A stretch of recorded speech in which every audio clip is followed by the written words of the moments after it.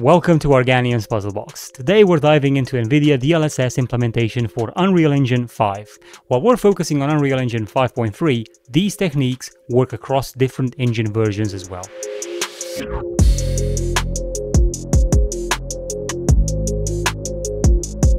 This step-by-step -step guide will show you how to implement NVIDIA DLSS and utilize NVIDIA's own interface for precise control over your scene you'll see that DLSS delivers its most significant performance gains in play mode, though the viewport still benefits from DLSS super resolution, just, you know, without the frame generation or NVIDIA reflex features. For this demonstration, I'm using my WorldForge project with GeForce RTX 4090. Now this is an ideal ground since its Nanite displays landscape in Unreal Engine 5.3 provides a demanding workload that really showcases DLSS improvements. While AMD users might want to explore uh, FSR for similar functionality, this tutorial specifically covers NVIDIA's implementation, as I actually don't have an AMD card to try out, even though that FSR works with other video cards as well. Now currently, this plugin isn't available for Unreal Engine 5.5, but support is expected in the near future. Now, uh, let's begin by navigating to Epic Games Fab Marketplace and searching for DLSS and FSR in the search box. Now in the search results, you'll find both NVIDIA DLSS and AMD's Fidelity FX Super Resolution 3. Now for this tutorial, we'll be focusing on NVIDIA DLSS since we're working with an NVIDIA graphics card. On NVIDIA's official uh, Fab page, you'll notice several promotional images. While these might not tell you as much visually, you know, the, the, key features listed are what we're interested in, particularly the resolution scaling capability.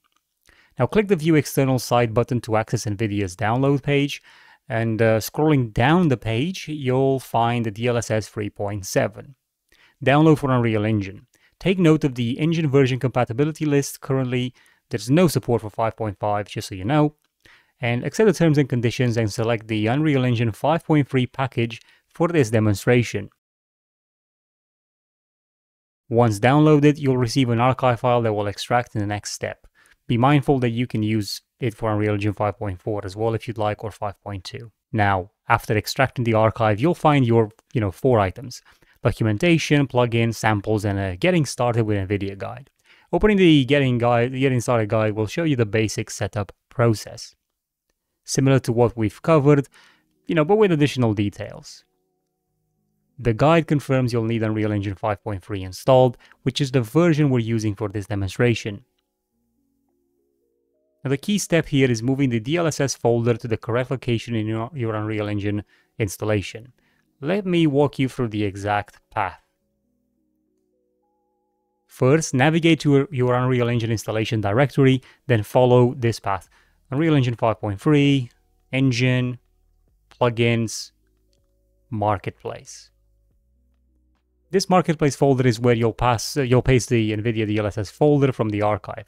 Think of it as an adding a new tool to Unreal Engine's toolbox. It needs to go in the right drawer to work properly. After placing the DLSS plugin, you can launch any Unreal Engine 5.3 project to begin implementation.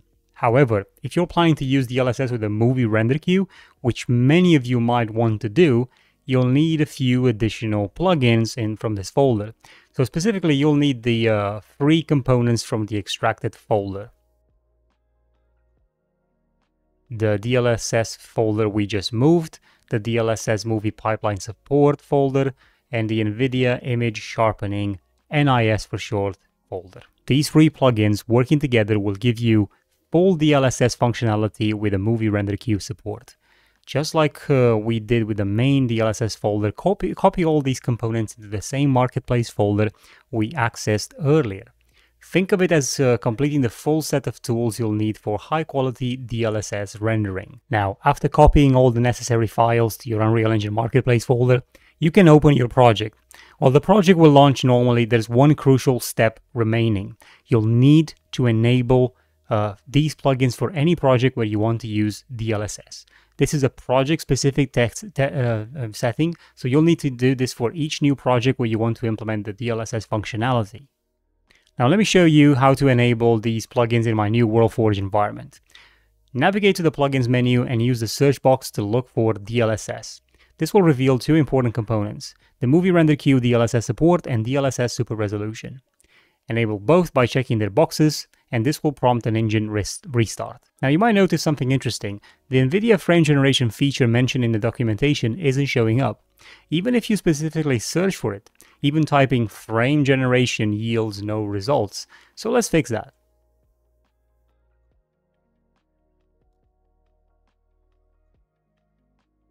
While the engine restarts, which won't take long depending on your hardware, let's take a quick detour to the DLSS folder we extracted earlier.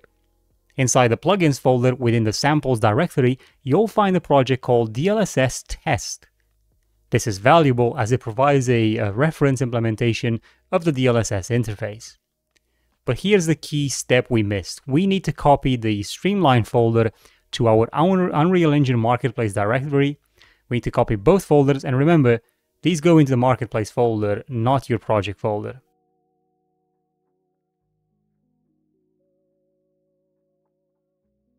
Now, when we return to our project, we can search for either Streamline or DLSS. With these additional components visible, enable both and restart the engine one more time. This will finally give us access to frame generation functionality. Now back in our project, let's try a different search approach. Instead, instead of searching for specific features, you know, just type in NVIDIA in the plugins menu. This gives us a comprehensive view of all the NVIDIA related components, including some essential ones we haven't enabled yet. We want to enable NVIDIA NIS, which is NVIDIA image scaling. This is a, uh, this is actually a crucial, it's actually crucial for DLSS to function properly. While we're here, let's also enable NVIDIA Reflex, which helps reduce latency when using DLSS. The reason why I've taken this detour and just doing all these steps of enabling things and restarting is because I would like to kind of show people where they could go wrong and what they could what they could be missing. Now, restart the engine one more time to apply these changes. Let's check our performance baseline. In this WorldForge environment running on Unreal Engine 5.3, Nanite displacement on landscapes, you know, is quite demanding. You can see we're getting around 20 milliseconds with this landscape and foliage setup. While this would perform better in Unreal Engine 5.5, let's focus on optimizing what we have. If we check the screen presetting settings, you'll notice we can make custom overrides. But the NVIDIA DLSS options are invisible here. They actually used to be in previous versions. In fact, DLSS doesn't work in the viewport quite the way you might expect. Now, according to the DLSS Super Resolution Quick Start Guide, viewport support is disabled by default. To get the proper interface, we'll need to borrow from the DLSS sample project that I showed you earlier. This project runs in Unreal Engine 5.2 by default, but we can upgrade it to 5.3.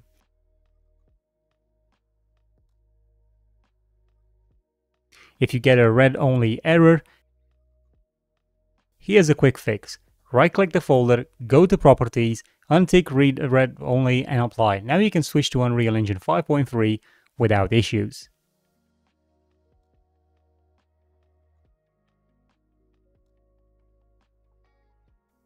Inside the sample project, you'll find example meshes and materials demonstrating NVIDIA's capabilities. The interface provides options for resolution upscaling, RTX settings, and NVIDIA image scaling from ultra quality to performance mode.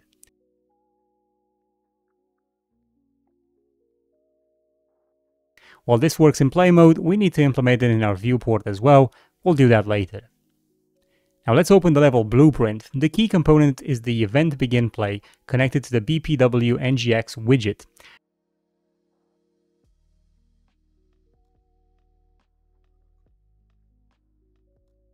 Note the class name with um, the NGX, you know, we'll need this later.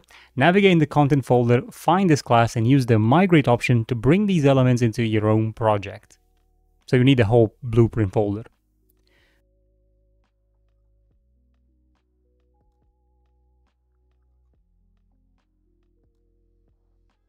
Back in your project's level blueprint, paste the nodes if you copied, um, you know, place the node that we copied.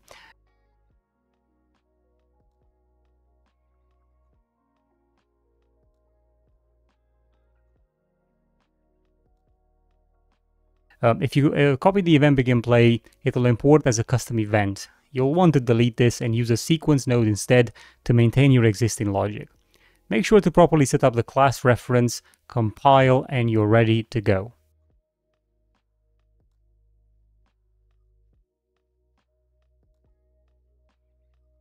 The NVIDIA DLSS interface appears with predefined settings. We can switch between resolution settings, toggle RTX, and adjust DLSS quality settings from DLAA to ultra performance.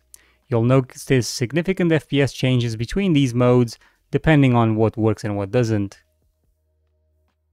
One interesting quirk, uh, you know, Unreal Engine's uh, built-in FPS counter doesn't always accurately reflect the DLSS improvements. For the best visualization, you can use the new editor window when you are in play mode.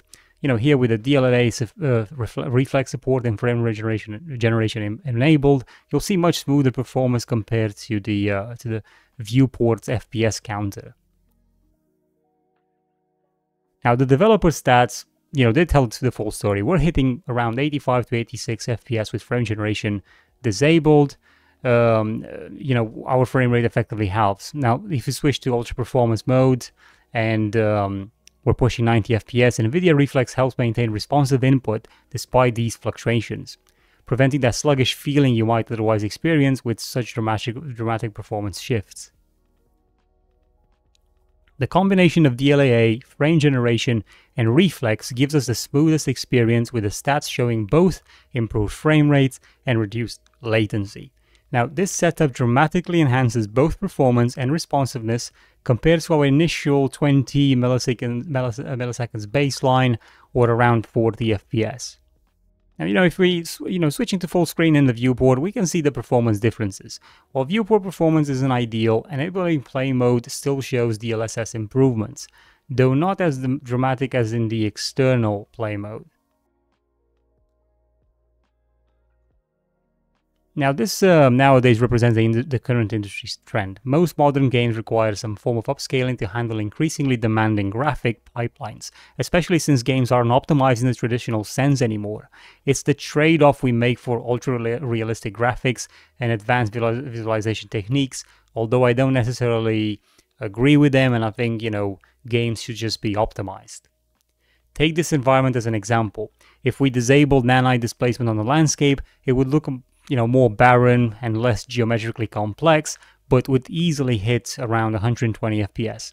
With NVIDIA, NVIDIA DLSS, would push even higher frame rates. But that's the balance between visual fidelity and performance. So if you want nanite displacement, you might actually need to use DLSS no matter what you do, or FSR. Looking at our interface now, we're hitting about 60 frames. You can fine tune settings to match your specific needs. This functionality works in on any Unreal Engine project. So, you know, importantly, you can also leverage it in the movie render queue to upscale your rendered output.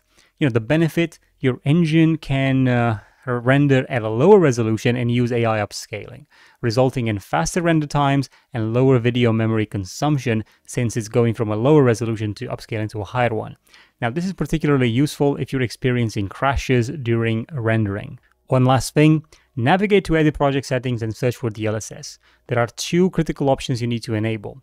The first one is enable DLSS in editor viewports and enable DLSS in play editor viewports.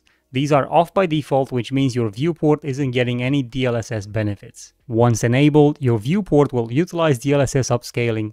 Just keep in mind that frame generation and NVIDIA Reflex features aren't available in this mode, but you'll still see improved performance from the core DLSS upscaling technology. I want to thank our incredible community from our Patreon supporters and YouTube members to our Discord community and those who've purchased my projects from Fab.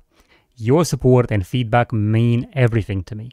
I truly appreciate all of you and I'll uh, see you in the next tutorial. Thank you for watching.